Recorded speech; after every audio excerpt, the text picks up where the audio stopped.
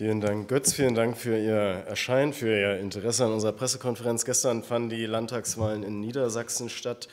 Und ich möchte die Gelegenheit zunächst äh, nutzen, um mich bei den Wahlkämpfenden zu bedanken, um mich bei unseren sehr engagierten und auch richtig guten Spitzenkandidierenden zu bedanken, bei Jessica Kausen und bei Lars Leopold, aber auch bei dem gesamten Landesverband und natürlich auch bei den Wählerinnen und Wählern, die uns ihr Vertrauen geschenkt haben, weil wir mit klaren politischen Forderungen in diesen Wahlkampf gezogen sind, zum Beispiel die Energiefrage betreffend, die Mietenfrage betreffend, Gesundheit und das Bildungssystem in den Vordergrund gestellt haben.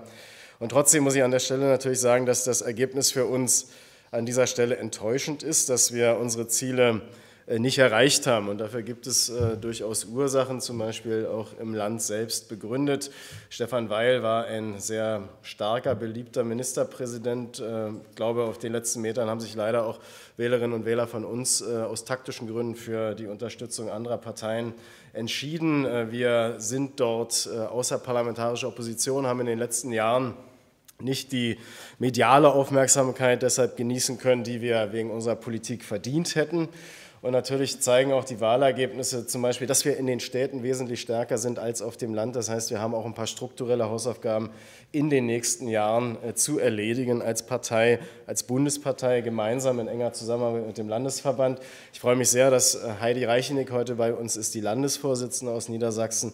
Und mit diesen eingehenden Worten würde ich dich bitten, zum Wahlergebnis etwas zu sagen. Ja, vielen Dank. Ich kann mich den Ausführungen natürlich äh, vollumfänglich anschließen und ich weiß, dass das die Presse immer ein wenig langweilt, aber ich möchte es trotzdem noch mal sagen. Ich danke allen meinen Genossinnen vor Ort, die wirklich sich Wochen und Monate lang auf gut Deutsch den Hintern aufgerissen haben, an den Infoständen plakatiert haben, sich auf Podien gesetzt haben, diskutiert haben, Anfragen beantwortet haben und das alles in einem Klima, das uns nicht unbedingt wohlgesonnen war. Also das war eine unglaubliche Leistung und ich glaube, ich war eine der Personen, die im Landesverband am meisten unterwegs war, qua Amt natürlich und habe das da immer wieder gesehen und das hat mich tief beeindruckt und deswegen sage ich ganz klar, das Ergebnis haben wir so nicht verdient. Ähm, das spiegelt diese Anstrengungen einfach nicht wider und das frustriert uns. Das ist ganz klar. Wir haben uns da deutlich mehr erhofft und wir müssen das jetzt umfassend analysieren, das ist auch klar. Ich möchte trotzdem sagen, wir hatten eine wirklich gute Kampagne, die war klar und deutlich, die wurde auch von der Mitgliedschaft getragen. Wir haben in Niedersachsen alle an einem Strang gezogen. Ich glaube, das ist auch etwas, was die Linke nicht immer von sich behaupten kann, aber wir haben das gemacht. Problematisch war es natürlich, dass es für uns sehr schwierig war, mit diesen Themen, die wir auch klar gewählt haben, klar soziale Gerechtigkeit nach vorne gestellt haben, an die Öffentlichkeit durchzudringen. Das wurde oft überlagert. Aber wir haben es an vielen Stellen trotzdem geschafft. Und ich möchte auch so einen Punkt nennen, den ich sehr positiv finde, und das ist der, dass wir bei den ErstwählerInnen im Vergleich zu unseren sonstigen Stimmergebnissen ziemlich gut abgeschnitten haben. Also die weiblichen ErstwählerInnen haben uns zu 7 Prozent gewählt, die männlichen zu 6 Prozent. Das freut mich als Kinder- und Jugendpolitische Sprecherin der Bundestagsfraktion natürlich besonders. Und ich glaube, das zeigt auch, wie wichtig das ist, mit unserem Jugendverband eng zusammenzuarbeiten. Das haben wir in dieser Wahl nämlich auch gemacht. Und das äh, stimmt mich doch noch ein bisschen optimistisch. Was natürlich ein großes Problem war und ist, ist, dass wir die Leute nicht erreichen, die ganz klar sagen, dass ihre Lebenssituation problematisch ist. Die, die sagen, dass sie eben nicht genug Geld zum Leben haben, die können wir nicht mitnehmen. Und das ist ja eigentlich unsere Kernklientel, diese Menschen zu vertreten. Wir haben jetzt 40 Prozent NichtwählerInnen, noch mal mehr als bei der letzten Landtagswahl. Und ich denke, das gibt uns auch ganz klar die Aufgabe, als Partei eine Strategie zu entwickeln, wie wir diese Nichtwähler ansprechen und die nicht eben dem rechten Rand zu überlassen. Und ich denke, das ist was, womit wir uns auch in den nächsten Wochen und Monaten beschäftigen müssen und werden. Ich denke, der heiße Herbst hat da schon erst einen wichtigen Schritt getan, denn der hat eben die Sozialproteste nach vorne gestellt. Der hat den Leuten gezeigt, wir sind mit euch gemeinsam hier, um gegen die problematische Politik anzugehen. Und ich denke, da müssen wir weitermachen und dann sieht es beim nächsten Mal auch besser aus. Vielen Dank. Äh, dass du gekommen bist. Vielen Dank nochmal auch im Namen des äh, gesamten Bundesvorstands der Bundespartei für den engagierten, wirklich leidenschaftlichen Wahlkampf. Ich habe mich auch vor Ort überzeugen können, mit wie viel Herzblut äh, die Partei dort in den Wahlkampf gezogen ist.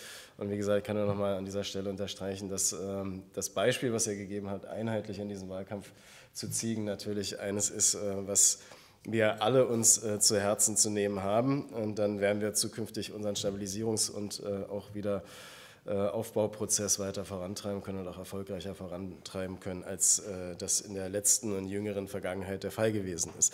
Ich will jetzt gerne ein paar Worte zur Gaspreisbremse verlieren an dieser Stelle und dann, äh, denke ich, in Absprache mit unserer Pressestelle auch die, den Fragekomplex eröffnen. Äh, die Expertenkommission äh, Gas und Wärme hat ja heute den lange überfälligen Zwischenbericht äh, zur Gaspreisbremse angekündigt. Zunächst hat die Bundesregierung auch unter öffentlichem Druck und auf diesen öffentlichen Druck reagierend die Gasumlage zurückgeholt, die unsoziale und ist komplett umgesteuert in ihrer Politik, was die Energiepreiskrise betrifft und hat angekündigt, also eine Gaspreisbremse, so wie sie das nennen. Ich will noch mal sagen, dass wir als erste Partei in diesem Land und danach von vielen anderen, auch Vereinen, Initiativen und anderen Parteien aufgegriffen, Gaspreisdeckel gefordert haben. Das heißt, wir freuen uns, dass es tatsächlich Maßnahmen gibt, perspektivisch, die darauf abzielen, die horrenden Energiepreise für die Bürgerinnen und Bürger in diesem Land tatsächlich abzumildern abzufedern. Wenn man sich aber ansieht, was die Ampel da jetzt wieder vorgeschlagen hat, was die Gas äh, Expertin und Kommission Gas und Wärme vorgelegt hat, dann ist das ein Ausdruck des in der Ampel anhaltenden Streits. Äh, der Staat soll also im Dezember die Abschlagszahlung übernehmen, dann in einer zweiten Stufe im kommenden Frühjahr, also nach dem Winter, erst nachdem die Leute mit diesen hohen Rechnungen konfrontiert gewesen sind, äh, wird dann auf der Basis von 80 Prozent des Vorjahresverbrauchs die Gaspreisbremse eingeführt, so ist das zumindest vorgesehen. Äh, der Preis wird dann äh, subventioniert äh, auf einen Preis von 12 Cent pro Kilowattstunde und alles, was über diesen 80 Prozent des Vorjahresverbrauchs liegt, muss dann entsprechend mit den marktüblichen Preisen berechnet werden. Ähnliche Regelungen, ohne jetzt da ins Detail gehen zu wollen, gelten auch für die Industrie. Da beträgt allerdings das Kontingent 70 Prozent zu einem Preis von 7 Cent pro Kilowattstunde. Wenn man sich das anguckt, frage ich mich nach den Steuerungssignalen, die die Ampel da ausstrahlen will oder aussendet. Ich halte das für völlig falsch, weil die Ampel dort ein zutiefst unsoziales und ungerechtes Modell der Gaspreisbremse vorstellt. Hoher Energieverbrauch wird subventioniert und das führt dazu, dass diese Gaspreisbremse, so wie sie angedacht ist, im Endeffekt private Schwimmbäder, großzügige Villen- und Dachgeschosswohnungen mitfinanziert, während diejenigen, die sowieso schon über Jahre hinweg nicht genug Geld in der Tasche hatten und sparen mussten bei der Energie, weiterhin dazu gezwungen sein werden, zu sparen. Das ist zutiefst unsozial, das ist unökologisch und auch die Einsparprozesse, auf die ja eigentlich so eine Gaspreisbremse abzielen sollte, werden damit natürlich nicht erreicht werden können. Also äh, es gibt im Übrigen auch keine äh, Preiskontrolle. Die Intervention in den Markt, die angekündigt wurde, eine, ein Redesign, eine Erneuerung des Energiemarktdesigns, ist irgendwie auf das kommende Frühjahr verschoben. Äh, das ändert natürlich nichts an dem kompletten Marktversagen, mit dem wir gerade konfrontiert sind. Das ist also eine völlige Fehlanzeige und führt dazu, dass Anbieter, Gasanbieter, die aufgrund ihrer eigenen verfehlten Politik sich auf den kurzfristigen Spotmärkten mit Gas versorgen müssen, äh, dort äh, quersubventioniert werden von der Bundesregierung, also durch öffentliche Steuergelder an dieser Stelle die Gasversorger quersubventioniert werden. Äh, das führt uns immer wieder auch zu der Forderung, dass die Privatisierung und die damit einhergehende Preisexplosion auf den Märkten, auf den Energiemärkten zurückgedreht werden muss, dass die Energieversorgung wieder in öffentliche Hand und unter demokratische Kontrolle gehört. Und das Modell, was die Bundesregierung hier für die Gaspreisbremse vorgelegt hat, das ist äh, tatsächlich kein Doppelwumms, sondern Doppelmurks. Das ist Krisenpolitik für Besserverdienende. Das ist, gelinde gesagt, eine Verarschung der Bevölkerung. Immer die Gelegenheit zu fragen. Herr Beuker.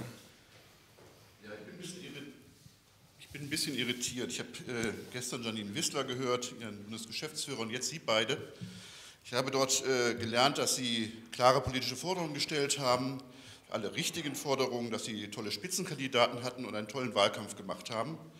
Und als einziges Argument äh, für die 2,7 Prozent habe ich gehört, äh, dass der Wahl populär wäre. Jetzt ist es aber die vierte Wahl wo sie unter 3% ist. Sie können das doch nicht immer darauf auf den Ministerpräsidenten schieben. Gibt es keine anderen Gründe für die Linkspartei, warum sie so bescheiden abgeschnitten hat?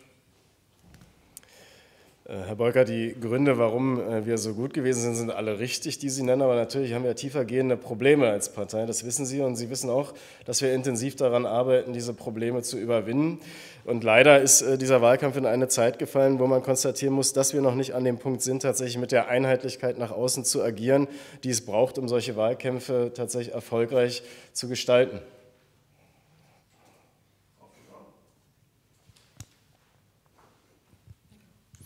Gerne mal nachhaken. Ähm, die Probleme der Zerstrittenheit hat die AfD auch. Die AfD hat ihr Ergebnis fast verdoppelt in dieser, in dieser Landtagswahl, hat ähnliche Themen angesprochen wie Sie.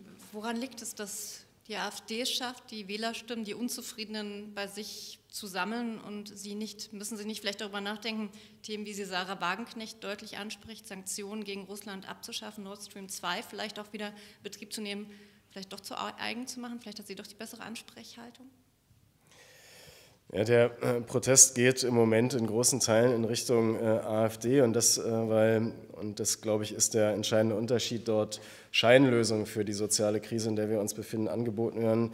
Lösungen, die auf ein, Ab, eine Abkürzung tatsächlich von realer Politik hinweisen und die an dieser Stelle mit unserem Forderungskanon, nämlich eine starke sozialpolitische äh, Ausrichtung unserer äh, Forderungen in den Mittelpunkt zu stellen, tatsächlich nicht kompatibel sind. Ich bedauere sehr, dass die AfD so aus der Unzufriedenheit und der Demokratieverdrossenheit tatsächlich der Bevölkerung aus den Vollen schöpft an dieser Stelle. Wir werden weiterhin unsere sozialpolitischen Forderungen ins Zentrum natürlich stellen. Wir werden weiterhin auch Protest mobilisieren. Auch im Oktober gibt es weitere große Protestveranstaltungen und wir werden deutlich machen, dass dieser Protest in demokratischen Bahnen abzulaufen hat und sich eben nicht an die AfD richten sollte oder dass die AfD am Ende Nutznießerin dieser Protestbewegung ist, die berechtigt ist, sondern werden weiter für unsere Position werben.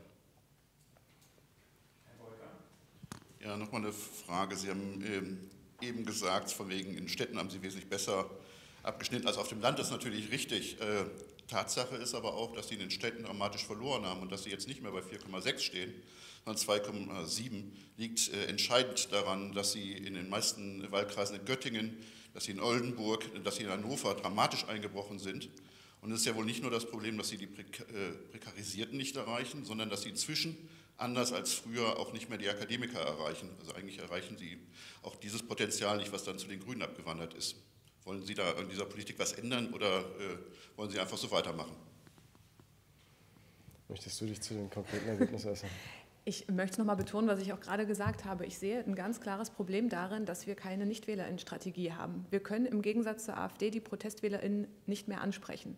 Wir sind seit Jahren in Regierungsverantwortung in verschiedenen Bundesländern. Das ist dann für uns leider nicht mehr so einfach. Beziehungsweise bin ich froh, dass es nicht mehr so einfach ist. Und das zeigt ja, dass wir an vielen Stellen positive Veränderungen bewirken können, dass wir sie aber leider nicht gut transportieren können.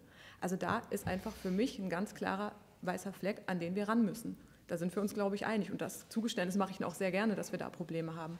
Und das werden wir aber gemeinsam diskutieren und erarbeiten. Ich glaube, da besteht auch eine große Einigkeit, dass wir das schaffen müssen, diese Menschen wieder anzusprechen, ohne die anderen zu verprellen. Weil Sie sagen jetzt gerade, schaffen wir es irgendwie beides hinzubekommen. Und das muss sich auf jeden Fall ändern. Aber in den Städten haben wir trotzdem noch relativ gute Ergebnisse. Und da sind wir natürlich froh drüber. Das liegt auch daran, dass wir da viele Genossinnen haben, die aktiv waren. Aber so kann es nicht bleiben. Frau? Okay. Ähm, Frau Reicheneck, explizit die Frage an Sie. Die, die umstrittene Rede von Frau Wagenknecht im Bundestag, hat die Ihnen geschadet oder genützt?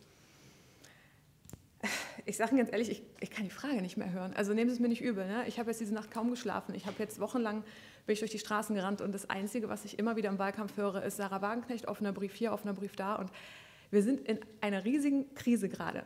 Ja, wir haben eine Inflation, die Menschen können sich die Energie nicht leisten. Der Gaspreisdeckel oder was auch immer das sein soll, das wurde gerade gut dargestellt, funktioniert nicht wirklich. Die Schlangen vor den Tafeln werden immer länger, aber das Einzige, worüber ich diskutieren soll, ist Person A oder Person B.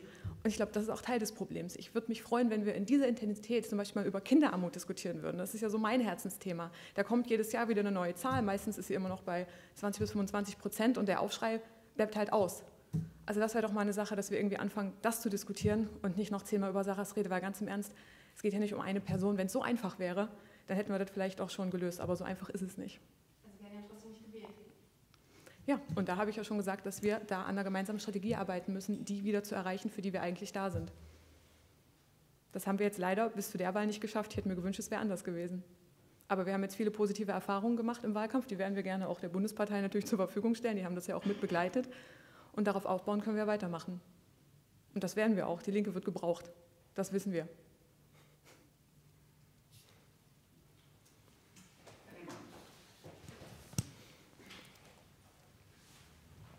Sieht man denn irgendwelche Konsequenzen jetzt aus dieser, ich weiß nicht wie vielten Niederlage? Also gab es da jetzt im geschäftsführenden Parteivorstand oder sonst was schon Überlegungen, konkret, ich meine jetzt gar nicht personell, aber vielleicht auch, dass man strategisch nochmal ganz anders überlegt als äh, der Weg, den man in, in den letzten Monaten gefahren ist? Ja, Sie können davon ausgehen, Herr Lehmann, vielen Dank für die Frage, dass wir natürlich intensiv darüber nachdenken, wie wir unsere Wahlergebnisse zukünftig wieder äh, verbessern können und dass wir entsprechend uns auch inhaltlichen Klärungsprozessen und strategischen Klärungsprozessen aussetzen und die offen miteinander diskutieren und intern miteinander diskutieren, wird Sie nicht überraschen. Wir greifen auch sehr gerne auf die Erfahrung unserer niedersächsischen Genossinnen und Genossen zurück an dieser Stelle, aber dass ich Ihnen äh, unsere Ergebnisse in einer öffentlichen Pressekonferenz jetzt schon mitteilen kann, das werden Sie verstehen, dass ich das nicht tue. Zur Ergänzung, mein Landesvorstand wird sich am Samstag treffen. Wir werden da nochmal intensiv diskutieren. Wir haben im November einen Landesparteitag zur Wahlauswertung. Wir werden auch versuchen, eine Umfrage zu entwickeln, an der sich alle Mitglieder beteiligen können, die uns auch nochmal Feedback geben können, was lief gut, was nicht so, wo sind vielleicht Verbesserungsvorschläge auch. Und dann werden wir da gemeinsam vorangehen. Und da lassen wir auch uns nicht irgendwie gegeneinander stellen, sondern das kriegen wir gemeinsam hin in Niedersachsen. Dann hatte sich Frau Frühauf noch mal gemeldet. Herr Stürmann, wie stehen Sie denn in der Diskussion um den BSI-Chef Schönbohm? Ähm, es wird ja gerade darüber diskutiert, ob er zu halten ist oder ähm, nicht. Wie ist Ihre Position oder wie ist die Position der Linken? Ja, wenn er tatsächlich Kontakte zum russischen Geheimdienst gehabt haben sollte, was ich gehört habe aus der Presse, also von Ihren Kolleginnen und Kollegen erfahren habe, dann denke ich, äh, ist das äußerst schwierig, diese Personalie im Amt zu behalten. Und dann wäre wahrscheinlich ein Rücktritt das Angemessene.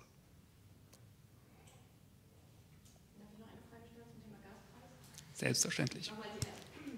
Mich würde nochmal die Alternative der Linken zusammengefasst interessieren. Also Sie haben uns gerade erklärt, was, was, was jetzt irgendwie nicht funktioniert ähm, aus Ihrer Sicht, aber vielleicht können Sie nochmal einen Alternativvorschlag, den Sie haben, kurz umreißen.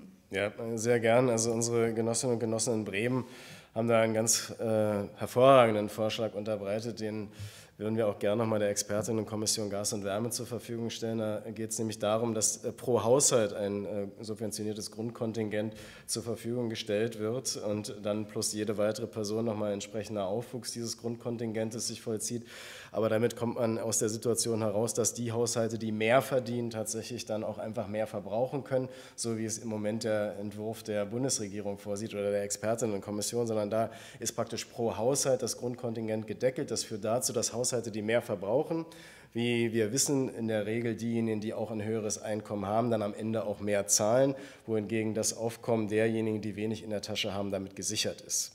Und das ist sozusagen sozial gerecht, das setzt Sparanreize in die Haushalte und es ist ökologisch. Das, was die Bundesregierung gerade vorgelegt hat, ist weder ökologisch noch sozial gerecht, noch gibt es da irgendwelche Sparanreize.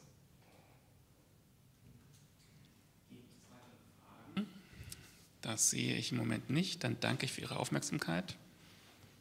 Sage bis zur nächsten Woche. Vielen Dank. Dankeschön.